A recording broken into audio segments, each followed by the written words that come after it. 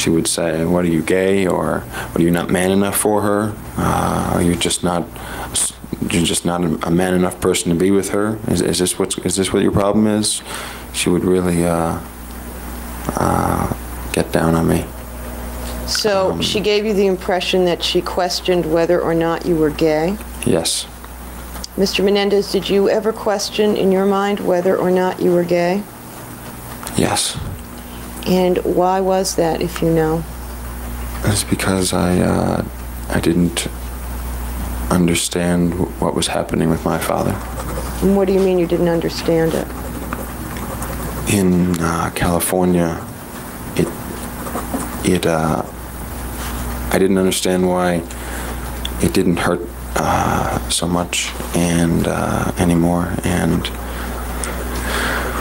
I didn't understand. Uh, I just felt like I was having more friends because I had a car and I was able to play tennis with them, and I was a little bit more independent and.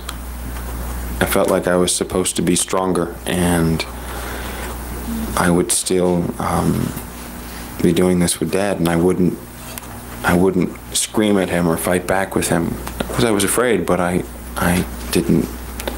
I still thought I should have, and I would still be able to have an orgasm. Uh, Okay, so those things, those factors made you thi- wonder if in fact maybe you were gay. Maybe that's why this is happening. Maybe that's why I don't resist. Maybe that's why it doesn't hurt. Is that what you mean? yes, I didn't understand. And did, did these concerns about whether or not you were gay, did this bother you? Yeah, it was on my mind a lot. I, I, uh, it bothered me. Did you think it was wrong for somebody to be gay, or was it just that you didn't know what you were? No, I didn't think I was wrong to think I was. Uh, You didn't understand my question.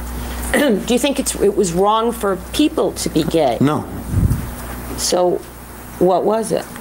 it was just that I was confused and uh, it was difficult for me. My mom made it seem like it was worse than death uh, to be gay, and uh, and I, I didn't think I was. I just I didn't know. I I really didn't understand.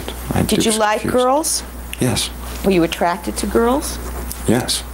And uh, eventually, did you have uh, intimate relationships with girls? Yes.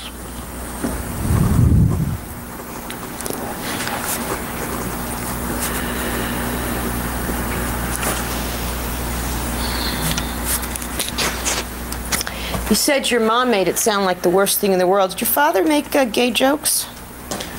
Yes.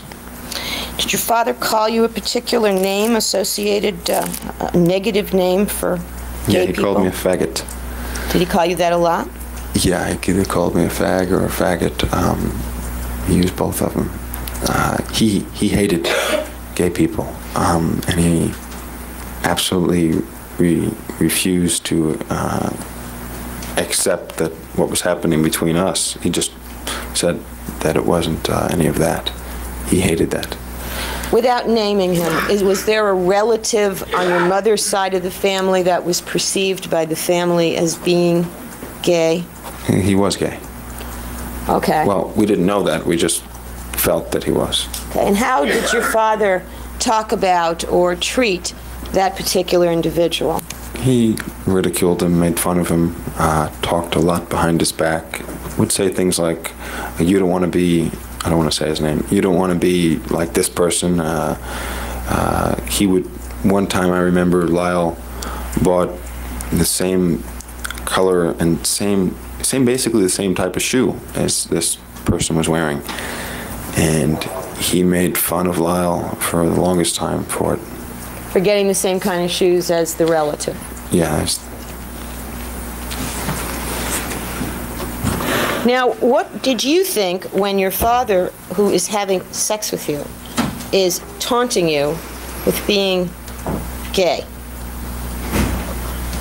I was real confused. Um, I didn't think that what Dad and I was doing was a gay thing.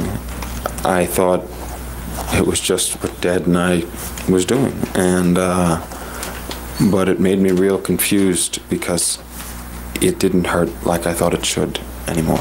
And so I didn't understand. When your father called you faggot, did you ever answer him back in your head? Yes. What did you say? I said, well, then what the hell are you? Now, when you were 13 to 15 and the rough sex was happening, did you, uh, based on things your father was doing, did you form some opinion about uh, his experience in these matters? I didn't, I didn't hear the first part of the question. Are you hearing okay right now? Yeah. Your Honor, perhaps we could take a break briefly.